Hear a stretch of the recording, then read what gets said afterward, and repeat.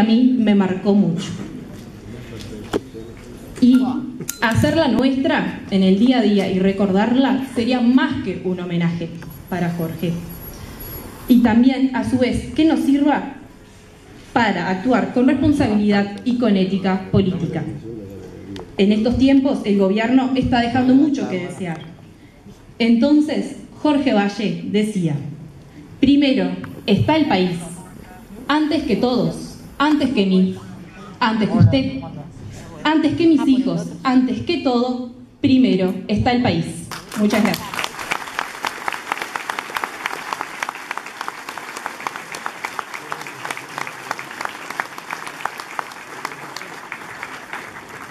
Muchas gracias, Daniela. Ahora le llega el turno a un oriundo del departamento de Canelones, con sus 21 años de edad, cursa cuarto año de Derecho, Federico Mazuquela. Te invitamos, por favor.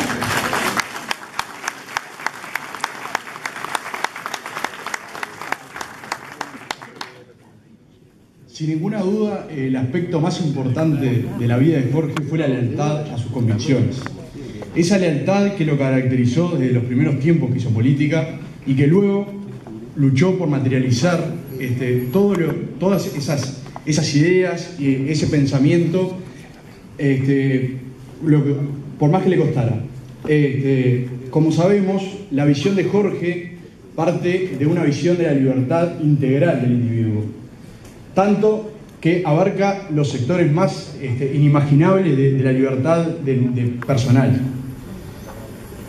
Tanto así que, llegaba hasta el terreno económico y que llegaba al- a lo económico y eso no ponía, este, él nos decía siempre, nos señalaba, que por más que, que, que creyeran en libertad económica, eso no hería su sensibilidad ballista y su sentimiento de justicia. Este, por otra parte, eh, eh, en su juventud en- en- le tocó enfrentar a un partido este, colegialista, a un partido estatista y dirigista, y desde temprano empezó este, a, indagar en, el conocimiento y en la tarea de, formarse, y así fue como este, empezó a poner en duda determinados este, principios fundamentales que habían regido este partido. Así fue, pero tampoco, como algunas personas malintencionadas intentan decir que Jorge se apartó de la doctrina ballista más tradicional, y eso no fue así.